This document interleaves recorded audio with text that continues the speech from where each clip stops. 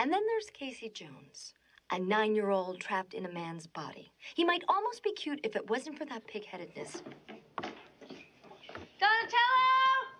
He's out with the others, uh, uh, exercising, doing something together. I don't know. Want some help? Oh, Hey, I am your man. I am Mr. Fix-It. all right. Let's go. Lead the way, Toots. Toots? Oh, babe? Sweet cakes? Ah, princess.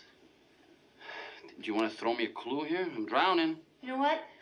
That's okay. I'll take care of it myself. Fine. That's up to you. Just don't come around here asking for my help anymore. See, I wouldn't ask for your help if you were the last thing on the face of this planet. It's coming along nicely.